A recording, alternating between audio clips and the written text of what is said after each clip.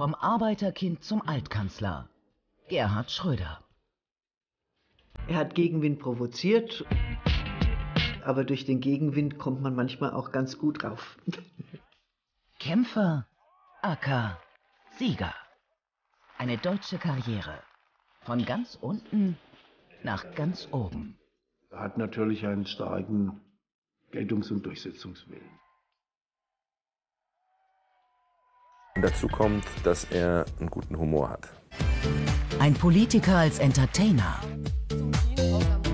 Da kam ein entspannter Geselle, der sich hingesetzt hat, so was machen wir jetzt? Und das fand ich immer gut an ihm. Gerhard Schröder und die Frauen. Viermal verheiratet. In jeder Lebensetappe die passende Partnerin. Er wollte, dass wir zusammen sind und er hat das dann gemacht. Und zwar schnell. Sein politisches Vermächtnis? Die Agenda-Reformen. Heute so umstritten wie eh und je. Am Ende kosten sie Schröder das Amt. Der Altkanzler und Russland, seine Freundschaft zu Putin. Verspielt Schröder seinen Ruf? Ein deutscher Bundeskanzler sollte das nicht machen.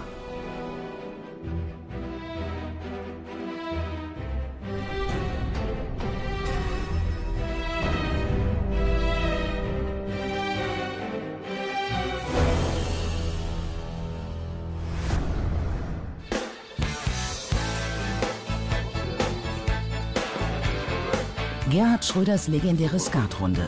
Mit dabei Ex-Innenminister Schily, der Künstler Markus Lüppertz und der ehemalige Atommanager Jürgen Grossmann. Seit über zehn Jahren pflegen sie diese Tradition. Selbst zu Schröders stürmischsten Zeiten. Alle paar Monate treffen sie sich. Dieses Mal auf einem Anwesen bei Berlin. Skat begleitet Schröder sein Leben lang. Er hat es als junger Hilfsarbeiter am Bau gelernt. Ich spiele Skat eher aggressiv, gebe ich zu. Immer gibt es diese Konkurrenz, wer gewinnt, wer verliert. Natürlich gibt es dann auch äh, diese ganzen Sprücheklopfereien, dass die anderen ja gar nichts können. Hier wird auch über Politik diskutiert. Über den Wahlkampf in Deutschland. Über Amerika und Donald Trump. Und was das mit uns zu tun hat. Menschen, die äh, sozialen Abstieg äh, fürchten, gibt es auch bei uns. Aber es gibt einen entscheidenden Unterschied. Wir haben einen wirklich funktionierenden Sozialstaat, äh, anders als in, äh, in den Vereinigten Staaten, der die Menschen auch auffängt. Damals als Bundeskanzler schlägt ihm Wut entgegen, weil er gerade diesen Sozialstaat umbaut. Die sollen für ihn Euro was? Haben die eine Meise? Das ganze Leben lang haben wir gekriegt und jetzt wollen sie uns alles wegnehmen. So sieht es aus. Dürfen wir nicht leben? Dürfen wir nicht existieren? Er selbst hat nie Zweifel, dass die Agenda-Politik notwendig ist. Erstens kann ich es nicht rückgängig machen, zweitens will ich es nicht rückgängig machen. Denn ohne Zweifel ist das so, wenn Sie mal sich die Situation in der Europäischen Union anschauen, ist nicht zuletzt die Agenda ein Grund dafür, dass Deutschland ohne jeden Zweifel wirtschaftlich in einem sehr, sehr guten Zustand ist und man aufpassen muss, dass das so bleibt. Das Bundeskanzleramt im Frühjahr 2003. Schröders zweite Amtszeit. Deutschland gilt als kranker Mann Europas. Fast fünf Millionen Menschen sind arbeitslos. Dagegen setzt Rot-Grün die einschneidendste Sozialreform in der bundesdeutschen Geschichte. Herzstück der Agenda 2010 ist die Reform des Arbeitsmarktes. Besonders umstritten ist das Hartz-IV-Gesetz, das die Leistungen für Arbeitslose deutlich begrenzt. Für die einen rettet Schröder mit seiner Politik das Land vor dem Niedergang. Für die anderen verrät er die sozialdemokratischen Werte. Diese Spaltung der Gesellschaft äh, wirkt auch insofern verheerend nach. Sie hat die Konsequenz, man kann es sagen, der Erzeugung eines Protestmilieus, das sich gar nicht mehr klar zwischen links und rechts unterscheiden lässt und um das gleichermaßen Linkspartei wie auch heute AfD kämpfen. Und insofern ist diese Spaltung der Gesellschaft. In abgehängte, auch kulturell abgehängte, äh, auch mit Ressentiments aufgeladene, durchaus eine Erblast der damaligen Agenda 2010 und Hartz-IV-Entwicklung. Das linke Lager bricht regelrecht auseinander. Die Harzreformen treiben Hunderttausende auf die Straßen, über Jahre. Gerhard Schröder wird zur Hassfigur. Ich erinnere mich noch an zwei so alte Damen, die mit so Pelzmänteln und so, also durchaus dann nicht verarmt. Und die eine hat zur anderen gesagt, den Schröders müsste man auch mal eine Bombe in den Garten werfen. Schröder weiß von Anfang an, mit der Reformpolitik setzt er seine Karriere aufs Spiel.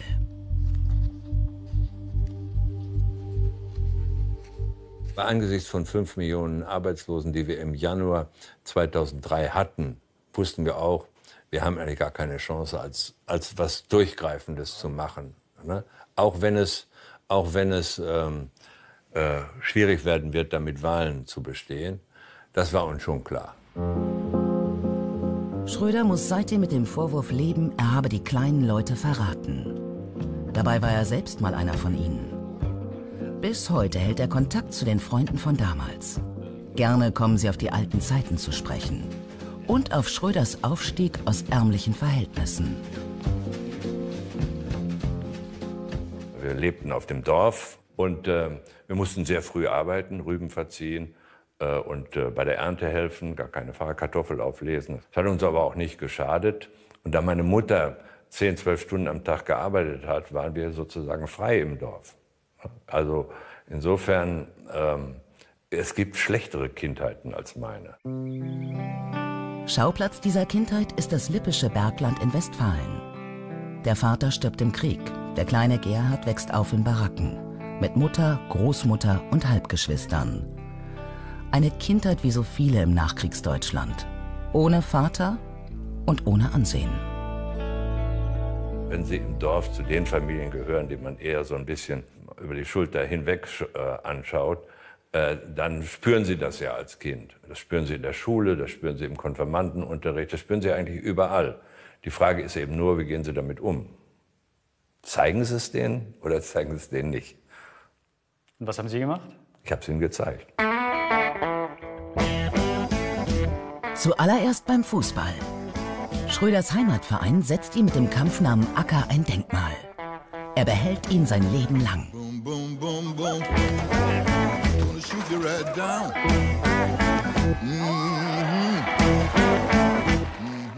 Es ist ja nicht nur der Fußballer als solcher für Schröder programmatisch, sondern auch selbst der Begriff Acker. Er hat ja gewissermaßen nie Filigranfußball gespielt. Er war der Kämpfer auf dem Platz, er war der bis zum letzten Einsatz zeigte. Und insofern war diese Volksnähe, die sich in dem Fußball zum Ausdruck brachte, mit dem Erfolgswillen gepaart, äh, eigentlich die bestechende Botschaft, ich bin bei den kleinen Leuten. Eine Botschaft, die bei den SPD-Anhängern gut ankommt. Damals wie heute. Zwölf Jahre nach Schröders Abgang gibt es wieder einen Kandidaten, der seine Herkunft zum Markenzeichen macht. Die Parallelen der Biografien Gerhard Schröders und der von Martin Schulz sind vor allem einem Punkt auffällig. Das ist der vergleichbare soziale Hintergrund die Herkunft aus sehr bescheidenen Milieus, die Fähigkeit, die, das bescheidene Milieu als Chance zu begreifen, daraus die Kraft zu holen für einen in beiden Fällen spektakulären Aufstieg. Schröder und die SPD. Noch sind die Gräben nicht überwunden, die Hartz IV und die Agenda gerissen haben. Gemeinsamer Wahlkampf mit Martin Schulz? Bislang Fehlanzeige. Die beiden treten wohl auch deswegen selten miteinander auf, äh, weil die Themen, die sich mit dem Namen Gerhard Schröders verbinden, nach wie vor, jedenfalls in Wahlkämpfen, offenbar nicht mehrheitsfähig sind, glaubt die SPD. Schröder umgibt sich gern mit einflussreichen Freunden. Im Kreis der Bosse und Mächtigen fühlt er sich wohl. In dieser Liga spielt er gerne mit. Wir spielen um einen Cent. Da kann man am Abend, wenn man ganz schlecht ist, mal 50 Euro verlieren. Aber da muss man schon alleine verlieren. Ansonsten halten sich die Einsätze so zwischen 20 und 40 Euro. Das kann jeder von denen, die hier mitspielen, aufbringen. Nur einer in dieser Runde ist eher unbekannt. Matthias Warnig. Der frühere Stasi-Offizier macht heute Geschäfte in Russland. So wie Gerhard Schröder.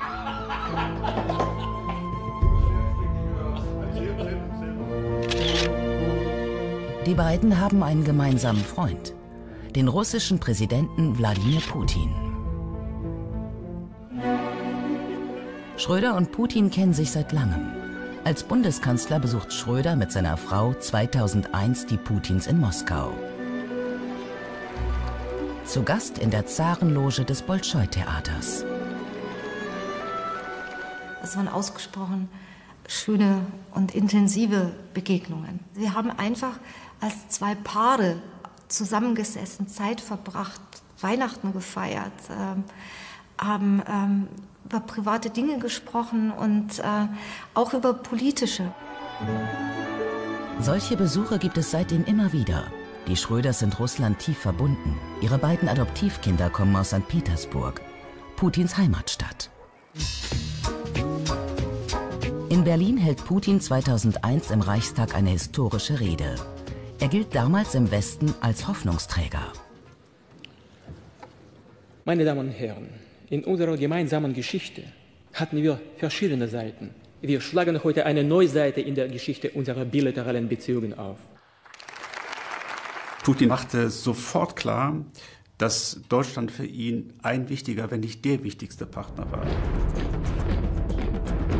Im Mai 2005 nimmt mit Schröder zum ersten Mal ein deutscher Kanzler an den Feierlichkeiten zum Kriegsende in Moskau teil. Alte Feindbilder scheinen überwunden. Wir waren auf dem Roten Platz als Vertreter eines Volkes, das Millionen von Tote dort hinterlassen hat. Wurden wir sozusagen aufgenommen in den Kreis der Freunde als symbolischer Akt. Das kann man sich in der Dimension gar nicht irgendwie ergreifend genug vorstellen. Mit Russland pflegt Schröder auch eine viel kritisierte Geschäftsbeziehung. Er ist Vorsitzender des Aktionärsausschusses der Nord Stream. Die Firma betreibt eine Pipeline für russisches Erdgas. Den Job hat ihm Putin angeboten, kurz nach seinem Abgang als Kanzler. Da bekam er einen Telefonanruf. Da ging es um diese Frage, soll er in diesem Aufsichtsgremium der Nord Stream diese Aufgabe übernehmen? Und soll er jetzt sagen, das soll lieber ein Russe machen? Das ist doch, das ist doch töricht. Das Vorhaben ist für Deutschland wirtschaftlich von großem Bedeutung. Das sagt ja auch Frau Merkel. Schröders Jahresgehalt etwa 250.000 Euro. Die Firmenmehrheit hält das russische Staatsunternehmen Gazprom. Der Ex-Kanzler, ein Lobbyist im Dienste Russlands? Seine neue Aufgabe irritiert in Deutschland viele. Er ist für mich heute nicht mehr politischer Gegner, deswegen gehe ich höflich mit ihm um. Aber ein deutscher Bundeskanzler sollte das nicht machen. Seit 2016 hat er noch einen weiteren lukrativen Job. Wieder im Gasgeschäft. Wieder ist Putins Gazprom beteiligt. Ja, wie, wo soll der Interessenkonflikt liegen? Ich habe kein einziges politisches Amt. Ich bin selbstständiger Rechtsanwalt. Ich sehe keinen Interessenkonflikt. Der Interessenkonflikt besteht natürlich darin, dass er einerseits Politik für ein russisches Staatsunternehmen betreibt, auf der anderen Seite damit also auch eine geopolitische Rolle im russischen Konzept übernimmt, auf der anderen Seite dies mit der Reputation des deutschen Altkanzlers tätigt. Die Kritik an seinem Russlandjob lässt Schröder kalt. Dabei gilt Putin nach der Annexion der Krim und den Bombardements in Syrien vielen als Kriegstreiber. Verstehe ich nicht. Ich muss ihn nicht immer verstehen, an dieser Stelle verstehe ich ihn nicht. Ja, weil ich finde, dass äh, Herr Putin äh, äh, nun jetzt sich wirklich zu einem Menschen entwickelt hat, äh, der äh, mit großer Vorsicht zu genießen ist. Dazu will sich Schröder nicht mehr erklären. Herr Schröder, ist denn Ihre Männerfreundschaft mit Herrn Putin gerade ja, die intelligentesten Fragen, die ich seit langer Zeit gehört habe. Das muss ich wirklich sagen. Wissen Sie, ich habe mir angewöhnt, darüber nicht zu reden, weil Freundschaft hat auch etwas zu tun, dass es nicht öffentlich ausgebreitet wird. Versuchen Sie es erst gar nicht. Versuchen Sie auch gar nicht über die Frage zu diskutieren, was ich ihm wann sage. Das ist unsere persönliche Beziehung und dazu werde ich Ihnen kein Wort sagen. Gut, dann würde ich jetzt, ähm, wenn wir nicht über Putin sprechen, würde ich gerne über Gerhard Schröder sprechen. Das wäre gut, ja. Gerne spricht Schröder über Schröder. Der Politrentner genießt seine Rolle als gefragter Manager, Redner oder Schlichter. Immer dabei seine Leibwächter. So wird es sein, bis zum Ende seines Lebens. Mit wenigen Ausnahmen. Ja, danke schön. Ich gehe schon manchmal zum Bäcker, ohne dass die Sicherheit dabei ist. Aber es ist auch immer Respekt vor der Aufgabe der Leute, die die Sicherheit zu gewährleisten haben, dass man das möglichst nicht macht. Denn wenn was passiert, kriegen die Ärger. Nicht ich, bin ja dann tot.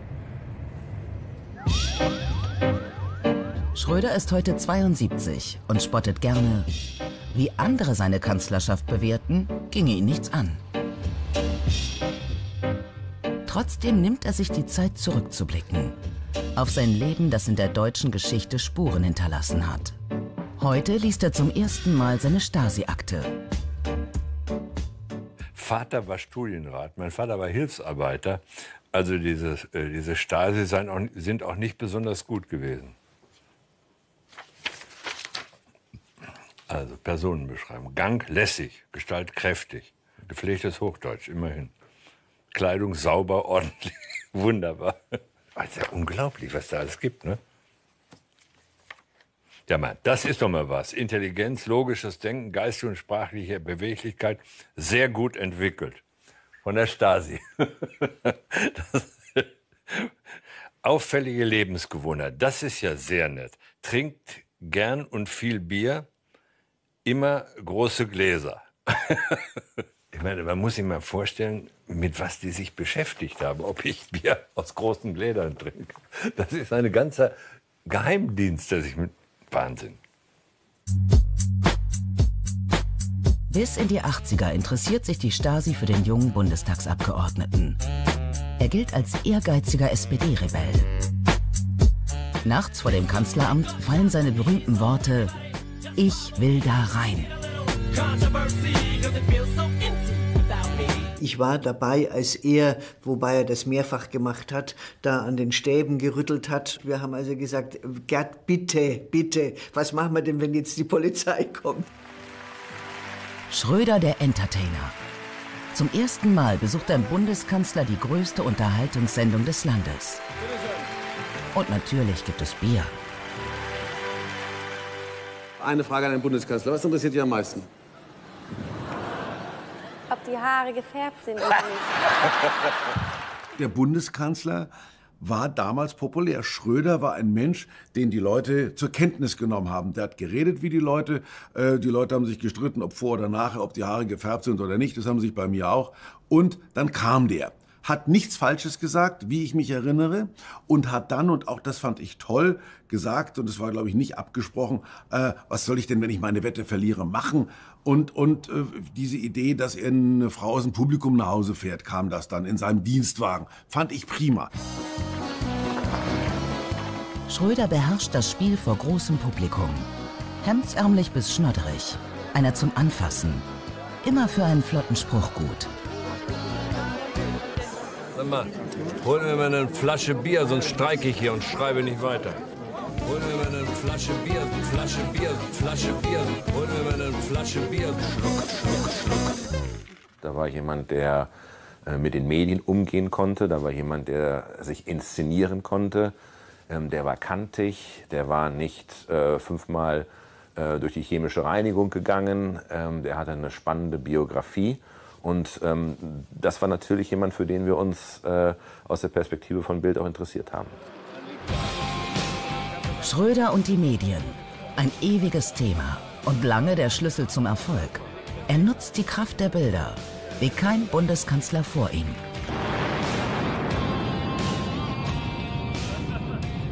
Ein Kanzler muss nicht daher geschlurft kommen. Und wir hatten ja die Strickjacke Kohl hinter uns. Also Kohl sitzt da, kennt mich, nimmt mich zur Kenntnis, winkt mir gönnerhaft zu und wir, wir schwenken die Fastensemmel. Aber äh, Schröder ruft an und sagt, komm, wir essen eine Pizza zusammen, trinken einen Rotwein und reden über die Dinge, die, die dich bewegen, die uns bewegen. Das war der Unterschied. Schröder ist ein Kind der turbulenten 60er. Nach der Lehre mit 14 und mittlerer Reife macht er Abitur auf dem zweiten Bildungsweg und studiert Jura in Göttingen. Damals rebelliert Deutschlands Jugend. Gegen die Verdrängung der NS-Zeit den Obrigkeitsstaat und den Vietnamkrieg.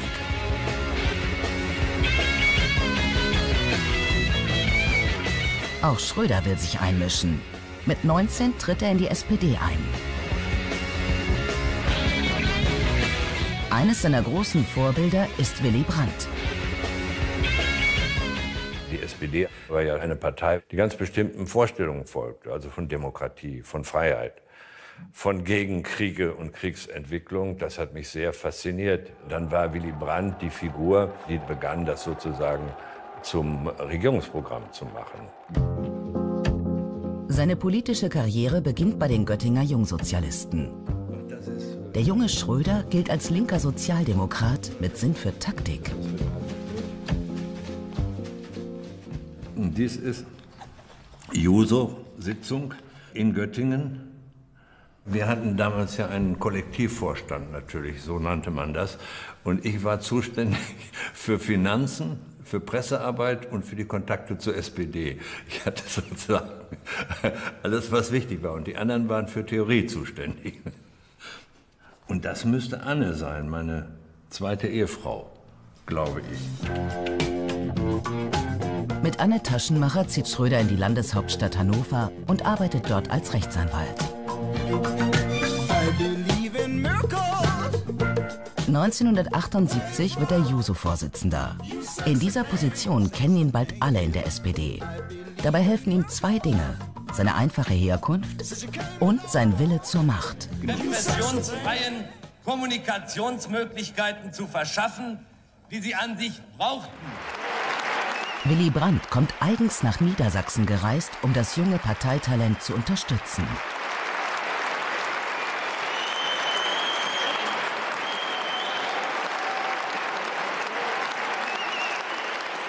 Ich finde es bemerkenswert, dass eine große süddeutsche Zeitung, aber nicht die Süddeutsche in München, ihn in der Überschrift einen politischen Profi nennt.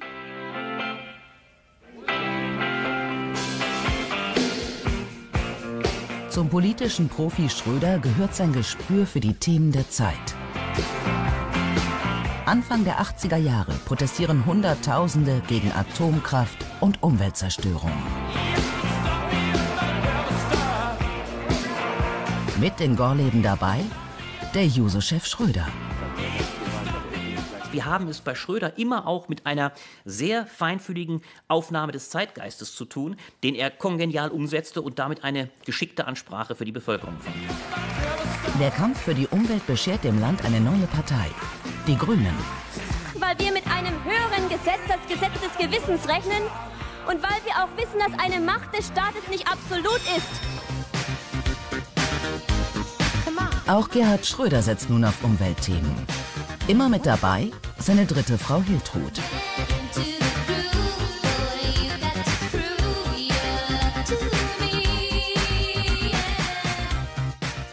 Er hatte zu jeder Zeit die richtige Frau. Am wichtigsten war zweifellos politisch Hilu Schröder, die genau in der ökologischen Bewegung stand, die ja weit ökologischer angehaucht war als er selber und die ihm damit die absolute Beglaubigung seiner neuen Karriere war. Der Aufsteiger will Ministerpräsident von Niedersachsen werden. Mit Anti-Atom-Profil. Wir müssen weg von dieser so gefährlichen Form der Energieversorgung. Hier steht auch die Frage, ob demokratisch gewählte Politiker gestalten wollen und gestalten können oder ob die Atomlobby das Sagen in unserem Land kriegen soll. Die Kennedys von Hannover machen gemeinsam Wahlkampf. Dabei setzt er auf den Helo-Faktor und sie spielt ihre Rolle perfekt. Beide haben kein Problem damit, ihr Privatleben öffentlich zu machen. Gerhard Schröder und seine Frau waren eine Firma, die Politik verkauft. Zur Firma gehören auch Hiltruds Töchter, denn Schröder hat damals noch keine eigenen Kinder. Von jetzt auf gleich konnte Schröder in die neue Rolle des Familienvaters schlüpfen. Das war ja nicht ganz unwichtig. Wenn man Landesvater werden will, dann ist es gut, wenn man eine Familie hat, mit der man zeigen kann, dass man tatsächlich die Vaterrolle ausfüllen kann. Gerd und Hillo Schröder. Damals das Traumpaar der deutschen Politik.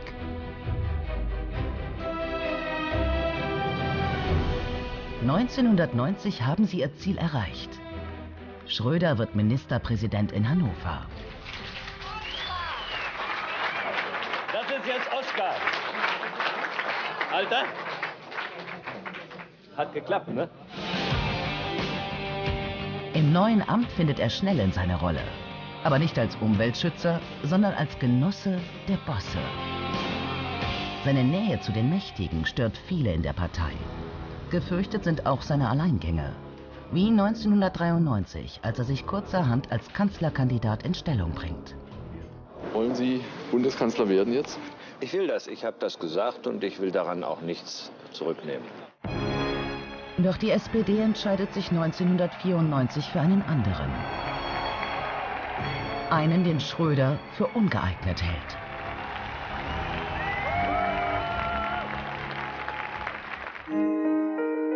So bleibt ihm nur eine Nebenrolle in der SPD-Troika. Hinter Rudolf Scharping und Oskar Lafontaine. Was hat der Mann für Niederlagen hinnehmen müssen?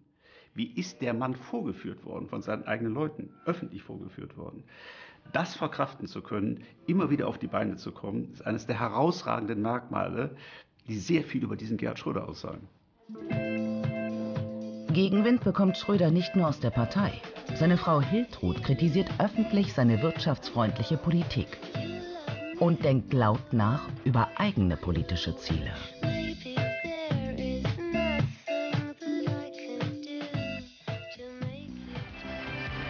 Im Herbst 1995 folgt der letzte Akt einer Ehe, die immer auch im Scheinwerferlicht stand. Sie sind Vegetarierin, er liebt Currywürste. Wie kommt ihr da zusammen beim Essen? Nicht zu Hause. Nicht zu Hause. Nein, doch. äh, Du behauptest immer, wenn du zu Hause bist, dass das alles ganz prima ist, was wir da so servieren. Und dann hat er ganz glänzende Augen am Montagmorgen, wenn er dann wieder zum Dienst gehen kann, um dann auch Currywürstchen zu essen. Ich habe gemerkt, dass Hilo sich nichts sagen lässt und das war ja zu einer Zeit, wo sich andere Frauen noch was sagen lassen haben. Also das war eine emanzipierte Frau und dass der, der Schröder von der Gegenwind gekriegt hat, das hast du gemerkt. Fand ich aber toll, dass das als Ehepaar dann offensichtlich an die Wand gefahren ist, ist was anderes. Alle dürfen draufhauen? So. Na, aber bitte. Ein Mann räumt ab. Oh, oh, oh. Das Amtsgericht hat soeben die Ehe geschieden durch Urteil. Der Scheidungsrummel ist so groß wie sonst nur bei Stars und Sternchen. Für einen Ministerpräsidenten gilt so ein Schritt eigentlich als Karriereknick. Und Schröder denkt tatsächlich über einen Abschied aus der Politik nach. Längst aber hat er eine neue Liebe gefunden. Doris Köpf heißt die nächste Frau an seiner Seite. Sie ist Journalistin und von Berufswegen mit dem politischen Betrieb vertraut.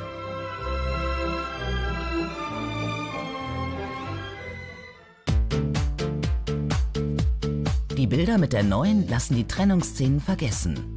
In der Staatskanzlei präsentiert sich Schröder als einer, der nach jedem Sturm stärker auf der Brücke steht. Während seine Frau zur Ratgeberin im Hintergrund wird. Wenn er zum Beispiel nachts nach Hause kommt und ich habe im Internet schon mal so die großen Zeitungen durchgeguckt und kann ihm sagen, was die am nächsten Tag aufmachen. Und äh, soweit es möglich ist, weil nicht alle Zeitungen da gut drin sind im Internet, kann ich ihm zum Beispiel sagen, wie die kommentieren oder was die kommentieren. Und das ist für ihn dann ein schneller Abriss und er weiß am Morgen, wenn er aufsteht, eben schon so ungefähr Bescheid, wie die Presselage ist. 1998 greift Schröder nach dem Kanzleramt. Parteichef Lafontaine bringt dafür die SPD auf Linie. Gerhard Schröder wird diese Wahl gewinnen. Und was danach kommt, werden wir gemeinsam anpacken. Schröder ist der fünfte SPD-Kandidat, der gegen Helmut Kohl antritt, den ewigen Kanzler. Nach 16 Jahren ist die Zeit reif für einen Wechsel und einen neuen Politikertyp, einen wie Schröder. Er gewinnt die Wahl.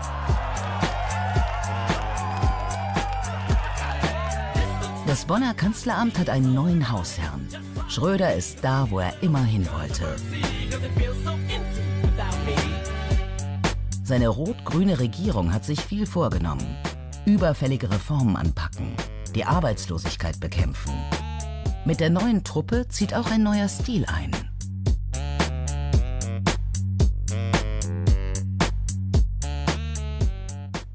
Welches Ensemble ist das? Ensemble Nummer 1, 2, 3, 4 oder?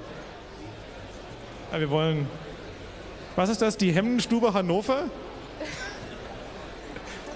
Ist das Preis? Brioni. Brioni. Oh. Er trat im Kanzleramt auf mit Koriba im Mund und Brioni-Anzug gekleidet, mit dem großen Satz, der eigentlich der programmatische auch seiner vermeintlichen Kanzlerschaft sein sollte: Regieren macht Spaß. Und dem war bekanntlich der Satz vorausgegangen, ich will da rein. Das sollte Spaß machen. Wir als 68er sind jetzt aufgerufen, dieses Land zu verändern.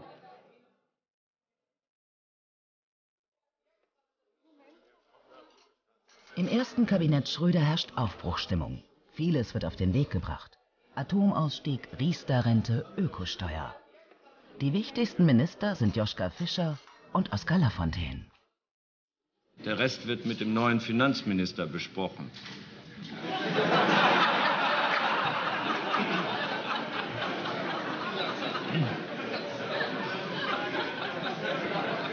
Meine Hoffnung war, dass wenn Schröder auch durch meine Zuarbeit und meine Unterstützung Kanzler wird, dass dann eben eine Basis erreicht ist, eine einigermaßen tragfähige Zusammenarbeit zu finden. Diese Hoffnung erweist sich schon bald als falsch. Wir Grünen hatten zeitweilig den Eindruck, wir koalieren mit zwei verschiedenen Parteien. Mit der Lafontaine SPD und mit der Schröder SPD. Und das war eine Sicht, die haben Joschka und ich haargenau so gesehen. Und irgendwann musste dieser Machtkampf entschieden werden. Nach nur fünf Monaten schmeißt Oskar Lafontaine überraschend hin. Oskar Lafontaine hat mir heute Nachmittag seinen Rücktritt vom Amt des Bundesfinanzministers mitgeteilt. Ein politisches Erdbeben, das den tiefen Graben in der SPD offenbart. Dass er dann äh, irgendwann glaubte, ich sei sozusagen derjenige, der den Kanzler spielt, aber das Sagen habe er, das war vielleicht ein Irrtum bei ihm. Von da an wird Oskar Lafontaine zu Schröders schärfsten Gegner und zur Galionsfigur der Linken. Sechs Jahre später wird er auch aus der SPD austreten.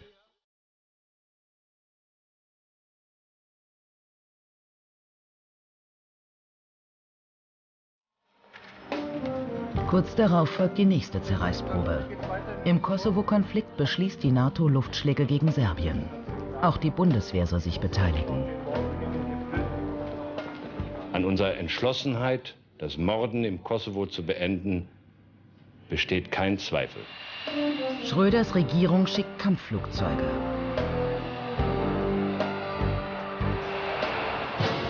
Es ist eine historische Entscheidung, denn erstmals seit 1945 beteiligt sich Deutschland wieder an einem Krieg. Es ist der schwerste Moment in Schröders politischem Leben.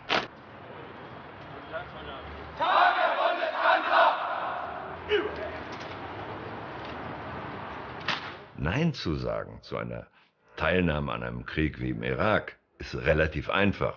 Aber Ja zu sagen, weil man ganz genau weiß, es ist ja nicht die eigene Haut, die im buchstäblichen Sinne zum Markte getragen wird, sondern die von anderen, auch wenn sie das Risiko als Berufssoldaten kennen. Nur es beschäftigt einen trotzdem. Und es ist dann letztlich doch eine sehr einsame Entscheidung. Am 11. September 2001 erschüttern die Anschläge auf das World Trade Center die Welt. Die USA rufen zum Krieg gegen den Terror auf. Erst in Afghanistan mit deutscher Beteiligung, dann gegen den Irak und dessen Diktator Saddam Hussein. Da sagt Schröder Nein und stellt sich als erster Bundeskanzler gegen den wichtigsten Verbündeten. In seinen Papieren findet er den Entwurf seiner Irakrede von 2003. Die Welt steht vor dem Form eines Krieges. Meine Frage war und ist, rechtfertigt das Ausmaß der Bedrohung, die von dem irakischen Diktator ausgeht, den Einsatz des Krieges? Meine Antwort in diesem Fall war und ist nein. Tja, das ist wohl richtig gewesen. Ne? Bitte tippen. Zweitens, bitte sofort an Doris. Ja, äh, das muss ich auch ruhig sagen können. Äh, sie war in solchen Fragen, auch mit ihren journalistischen Kenntnissen, schon äh, jemand, äh, der was zu sagen hatte.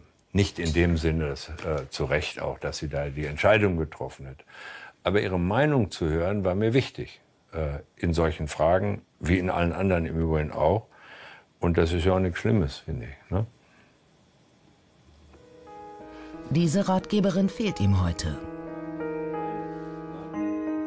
Denn nach 19 Jahren ist auch Gerhard Schröders vierte Ehe zu Ende. Seit Herbst 2016 lebt er in Scheidung. Die Trennung als solche, die ist nicht anders als bei anderen Menschen auch, nämlich schwierig und schmerzhaft, gar keine Frage. Die Tatsache indessen, dass diese Trennung äh, öffentlich wird, macht es nicht einfach. Wenn da was schiefgegangen ist, und da ist ja was schiefgegangen in meinem persönlichen Leben, lag das sicherlich mehr an mir als an den Frauen. Das gilt auch und insbesondere äh, für meine jetzige Nochfrau. Sie wissen um die Trennung und ähm, sie ist sehr politisch, sehr intelligent und eine wunderbare Mutter. Ich werde nie ein schlechtes Wort über sie verlieren. Beim Kampf um die Agenda 2010 ist Ehefrau Doris noch eine wichtige Stütze. Auch als Schröders Umfragewerte abstürzen und er 2005 die Vertrauensfrage stellt. Sein Ziel? Neuwahlen. Mit einer Mehrheit im Rücken will er die Reformpolitik fortsetzen. Ein riskantes Manöver. Am 1. Juli 2005 die entscheidende Rede im Bundestag. Ich möchte dem Herrn Bundespräsidenten die Auflösung des 15. Deutschen Bundestages und die Anordnung von Neuwahlen vorschlagen. Die SPD hat seit dem Beschluss der Agenda 2010 bei allen Landtagswahlen und der Europawahl Stimmen verloren. In vielen Fällen sogar die Regierungsbeteiligung in den Ländern. Das war ein hoher Preis für die Durchsetzung der Reformen.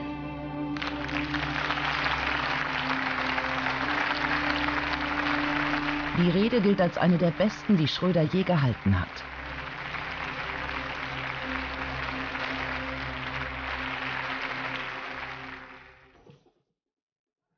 Der Wahlkampf danach. Ein Kanzler, der als abgeschrieben gilt. Aber der gestellte Wahlkämpfer Schröder holt die sicher geglaubte Siegerin Merkel beinahe ein. Ein Kopf-an-Kopf-Rennen. Für die Sozialdemokraten 34 Prozent. Für die Union nur.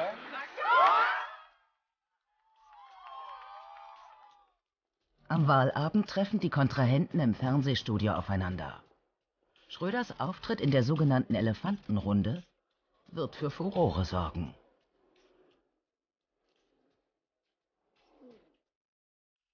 Herr Bundeskanzler, ist ja schön, eine dass stabile. Sie mich jetzt schon ansprechen.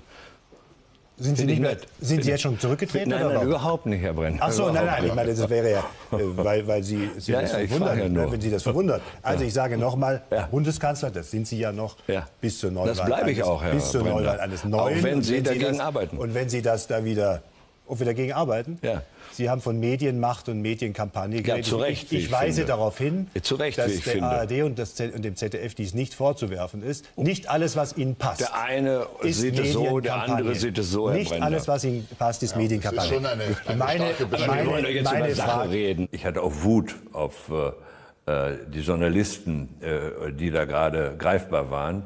Und deswegen war das so eine Mischung aus, aus, aus äh, Aufhören dieser enormen Spannung und auch, na, euch werde ich es zeigen. Ich ging auf ihn zu, wollte ihm die Hand geben. Er streckte mir die Hand entgegen und zog sie aber dann wieder zurück. Und ich dachte, naja, gut.